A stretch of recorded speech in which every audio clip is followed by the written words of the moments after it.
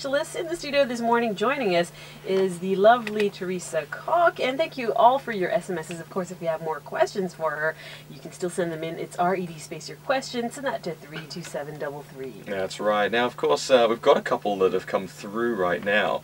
Uh, one of the ones that I, I particularly like, and maybe you can just answer this one sort of briefly for us. This is coming in from Tracy, and she wants to know that uh, if, um, let's say, the government uh, were to change and um, you were to be part of the, the new ruling government, um, which cabinet minister post would you most like to hold?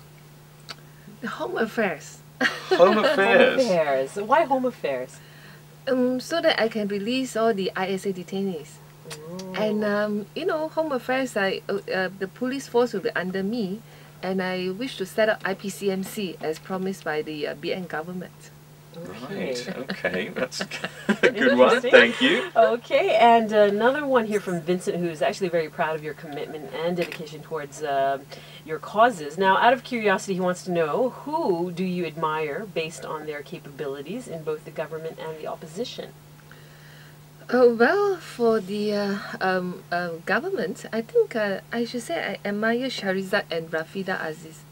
Um, for Shahrizat, I should say that, well, I look at sometimes you know the the way she uh, carry herself in the Dewan Rakyat, she can nicely whack the opposition ma- male MPs nicely in a very uh, uh, in a very good lang- manner Dignified, language, yeah, dignified manner. and and also in a very humorous manner and she always you know when when there is such you know situation happens she always win the kind of applause from uh, the fellow male MPs you know in B- BN and for us we sometimes we, we, we sit there we just feel like laughing you know all the Yeah. way.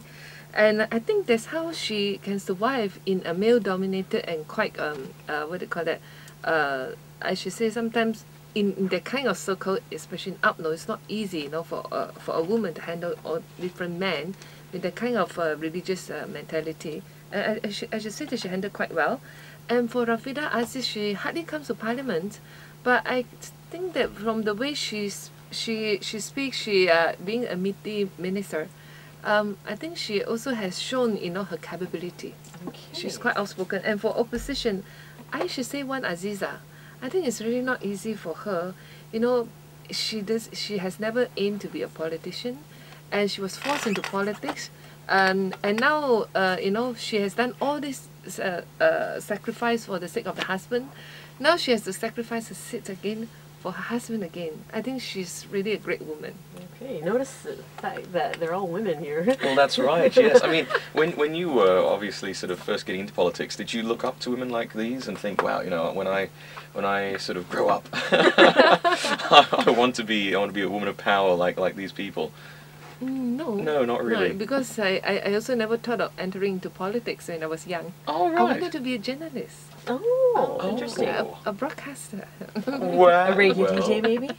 maybe not. you know what, we're gonna we're gonna get into that in a moment, but before we do, we're just gonna finish off with one last SMS. Um, we've got actually one SMS coming in from somebody who said that they'd like to know quickly um, what what are some of the major things that you've done actually for Seputeh, and what are some of your big plans for Kinrara? Well, for um, people who ask this question, sometimes they thought that a member of parliament is like a mayor.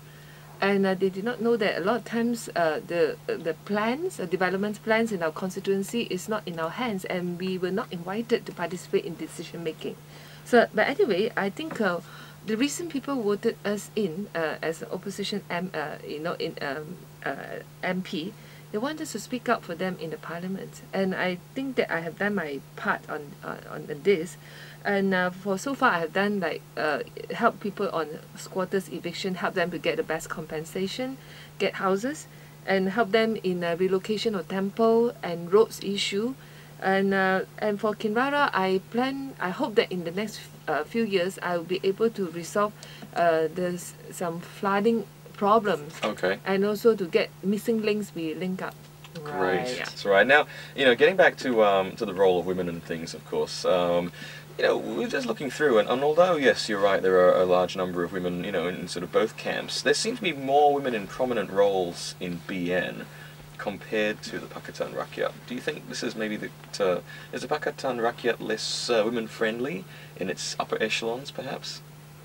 Well, not really. You look at Selangor, the Pakatan Rakyat government, um, we have uh, four women EXCOs. That Oh. is a record breaking. Oh, really? Yeah, and then we have a deputy uh, woman speaker.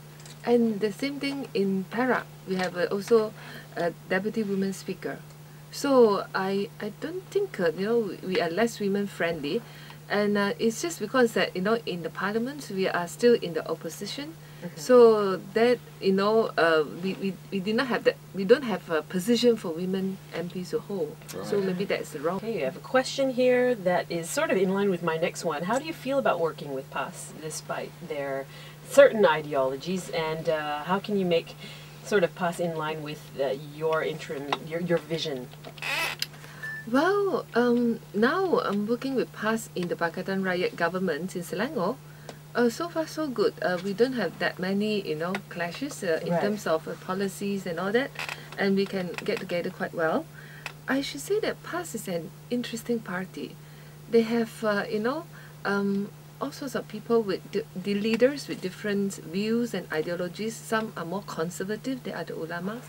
Some uh, are the, the professionals, and uh, and you also have seen now we have seen two women from PAS uh, in the parliament. So you, if you talk to them, you'll find that they are actually quite open-minded in uh, many issues. They are, they are quite in line with many uh, things that we are fighting for. And uh, for me, I think that um, if you look at uh, Barisan Nasional, there are 14 political parties.